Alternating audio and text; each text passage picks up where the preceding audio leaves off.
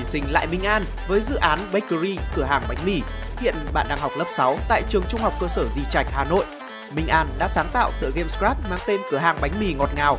Cô bạn đã sử dụng nhóm câu lệnh như chuyển động, âm thanh, sự kiện để thực hiện các quy trình như tiếp nhận yêu cầu của khách hàng, sản xuất bánh và nhận phản hồi của thực khách. Một dự án rất thú vị phải không nào? Sau đây sẽ là phần trình bày của Minh An. Con xin, con xin chào các thầy cô và các ban khán giả và tất cả các bạn, học sinh. Hôm nay con sẽ trình bày về bài thi của mình. Bài thi của con có tên là Bakery có nghĩa là cửa hàng bánh mì. Con có các khối như sau. Đầu tiên là con sẽ có các loại bánh để cho khách chọn. Và đây là các loại, đây là các khách của con khi mà bán hết bánh cho khách thì con sẽ bấm vào nhân vật làm bánh thì bánh sẽ hiện lên. Cốc cà phê cũng tương tự như vậy, là khi con bấm vào thì nó sẽ hiện lên cốc cà phê mới. Còn đây là phần thưởng, khi mỗi một người khách mua một cốc cà phê thì sẽ được thưởng một con gấu.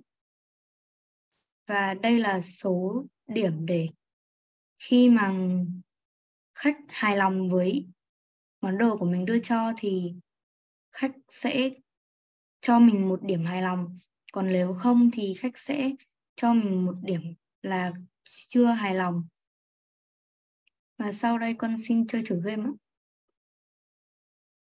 Khi mới vào chơi, nó sẽ hiện ra nút Pakeri. Con sẽ bấm vào một cánh cửa, nó sẽ mở ra và khách sẽ từ từ xuất hiện.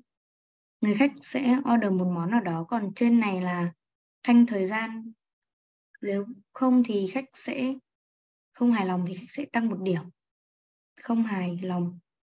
Còn nếu mà khách hài lòng thì nó sẽ tăng một điểm. Ở bên hình con người màu xanh.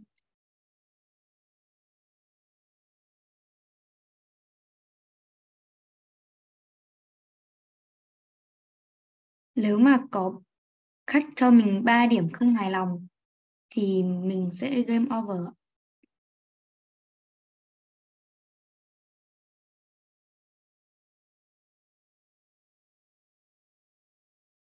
và cửa hàng của mình sẽ bị đóng cửa.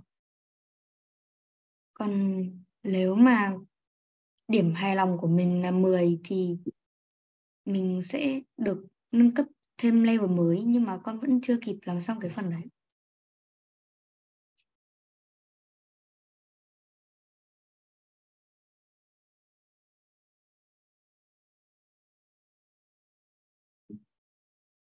À, con trình bày một cái ý tưởng level mới của mình đi uh, con.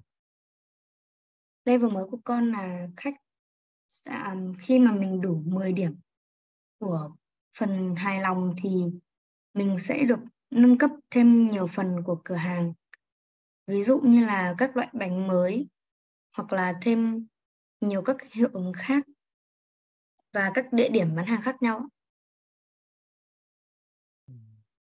Và đây là biểu cảm của khách nếu mà khách hài lòng thì nó sẽ hiện ra một trong hai cái biểu cảm vui này và nếu mà mình chọn sai bánh. Nếu mà mình chọn um, nếu mà khách gọi một món nào đó mà mình chọn sai thì khách sẽ ra biểu cảm chưa hài lòng. Còn nếu mà mình không kịp bán đồ cho khách thì khách sẽ ra cái khuôn mặt tức giận và cho mình một điểm không hài lòng. Phần trình bày con đến đây là kết thúc ạ. Dạ, phần trình bày rất là một một sản phẩm rất là độc đáo, thú vị. Hồi nhỏ cô cũng đã từng chơi cái sản phẩm có cái nội dung tương tự rồi và cô cũng rất là thích sản phẩm của Minh An. Và chúc mừng con đã hoàn thành xong phần thi của mình nhé. Và bây giờ chắc là chúng ta sẽ cùng lắng nghe những lời chia sẻ cũng như là và sẽ tới phần hỏi đáp của ban giám khảo đối với Minh An. Xin mời ban giám khảo ạ.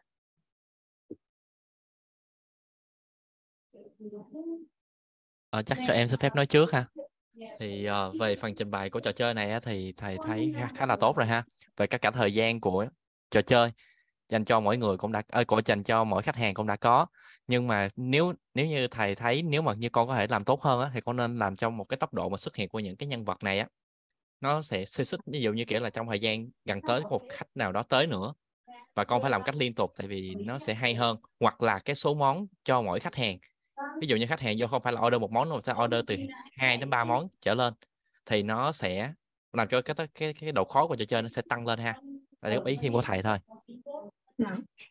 ừ. rồi à, phần góp ý của thầy tới đây thôi. Đúng rồi à, ngoài cái việc là ừ, cái việc mà chỉ có một khách như này đúng không? Chỉ có một khách như này thì cái việc mà chọn nhầm món cho khách thực ra là khá là khó xảy ra đúng không? Trừ khi là mình cố tình mình mình mình mình uh, đúng không? gọi bánh sình bò mình đưa hai cái bánh lát này đúng không? Thì uh, đấy là mình cố tình. Thì cái cái việc mà người chơi có thể nhầm lẫn ấy thì em có thể làm cho là ví dụ là thay vì là một một người khách đến một đúng không? Thì sẽ là khoảng uh, hai ba khách đến một lượt. Đó thì cái việc chọn nhầm nó cũng sẽ sẽ sẽ sẽ ừ, sẽ dễ xảy ra hơn. Um, um, đấy là cái thứ nhất. Cái thứ hai thì anh đang thấy là um, sau khi mà khách nhận bánh xong đúng không? Um, thì cái việc trả tiền đúng không? Trả tiền thì nó chỉ đang là em đang tăng cái uh, cái lượng tiền của cửa hàng lên đúng không? Ừ. Uh, thế thì có khi anh gợi ý là sẽ làm thêm một cái một cái chuyển động nữa là khách cái phần cái cái cái tiền trên tay khách ấy, ừ, sẽ đưa về phía cửa hàng sau đấy thì biến mất. Uh, như thế nó sẽ kiểu đại diện cho cái việc là trả tiền đúng không? Ừ. chứ lại uh, cầm bánh nhưng mà lại cầm tiền đi mất thì cũng trông hơi kỳ đúng không? Rồi còn về ý tưởng anh nghĩ là ok khá ổn. Khá hay. Rồi em uh, mời các bạn giám khảo khác. Chào Quang Đăng nhá. Thực tế thì cái dự án của Quang Đăng muốn nâng cấp thêm một một vài cái bánh mới thì không là khó. Nếu như mà có đấy thì đến lượt anh góp ý thì nếu như mà chúng ta biết cách để chúng ta sử dụng một cái cái biến kiểu danh sách ấy, thì chúng ta quản lý thêm ờ, những món ăn mới thì nó rất là đơn giản. Ví dụ như trong ờ, con bấm vào cái đối tượng order kìa.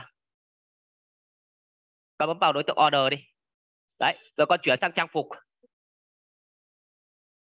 trong ờ, đối tượng order này đúng không thì chúng ta đang có khá là nhiều cái order tức là cái thực đơn mà khách muốn đấy đúng chưa giả sử như ở level 1 thầy chỉ muốn khách là order từ 1 đến 4 thôi và chúng ta chỉ cho hiển thị là là một đến 4 cái loại bánh mà khách yêu cầu thôi. Thì ờ, cái toàn bộ cái loại bánh của con ấy, thì con sẽ cần phải gom vào và một đối tượng nhân vật, giống như hệt cái đối tượng order này đã cũng từ 1 đến 9 sau đó thì chúng ta sẽ tạo ra một cái cái mảng gọi là danh sách đấy, thì chúng ta sẽ sẽ đánh số. Ví dụ một là là loại bánh gì, hai là loại bánh gì, ba là loại bánh gì, chín là loại bánh gì, thì khi đó con nâng cấp cái trò chơi của con từ level 1 này lên level 2 này còn thêm ra các loại bánh mới này thì nó là khá là đơn giản. Hoặc là chúng ta muốn nâng cấp level lên thì uh, giả sử khi lên level 2 chẳng hạn thì con sẽ giảm cái thời gian order của khách xuống đúng không? Trong uh, đối với level 1 thì con giả sử con đặt một giây chẳng hạn. Lên level 2 con có thể giảm xuống còn là 0,7 giây. Cứ như vậy chúng ta tạo ra cấp độ chơi khó hơn nhé Vâng. còn phần lập trình của con thì thầy thấy là đơn giản nhưng mà khá là đầy đủ Vâng. rồi chúc uh, con đạt được kết quả tốt trong trận chung kết ngày hôm nay nhé phần của anh nhá thì như góp ý của ấy thì là có thể mình sẽ cho thêm nhiều khách hàng cùng một lúc thì đấy là buổi trước anh cũng đã nói rồi thì có nhiều khách hàng một lúc thì người chơi sẽ phải thao tác nhiều hơn cũng để tránh sự nhầm lẫn cùng với đấy ấy, thay vì là chọn kiểu kích chuột vào để chọn các món ăn ấy, thì cùng với cái lối chơi mà thêm nhiều khách hàng như thế, thì cái việc kích chuột đó sẽ không còn được thỏa mãn nữa, mà mình sẽ làm một cái là kiểu kéo thả ấy, kéo cái đấy vào vị trí của khách hàng. Để cho khách hàng nào muốn nhận được món ăn nào thì mình sẽ nhận cho cái đấy. Để cho nó có thể biết được, thì lúc đấy kèm với cả việc có nhiều khách hàng ấy, thì mình kéo thả vào thì nó sẽ chính xác hơn. Đồng thời thì cũng cần phải thao tác về phía người chơi nữa có nghĩa nó sẽ tăng thêm thao tác, chứ không phải là chỉ nhìn xong rồi sẽ kích chuột vào chọn. Đấy, thì như thế mình sẽ có thao tác là làm đầy bánh trở lại này, sau đó kéo bánh cho người chơi này. Và em có thể thêm cả việc mà, kiểu, lấy tiền từ tay khách hàng xong cho vào một cái đâu đấy nữa. Đấy, thì như thế thì nó nhiều thao tác hơn thì trò chơi nó sẽ thú vị hơn. Đây là góp ý của anh. Đó. Con cảm ơn các ban giám khảo và các bạn đã lắng nghe và xem về bài thi của con ạ. Con cảm ơn.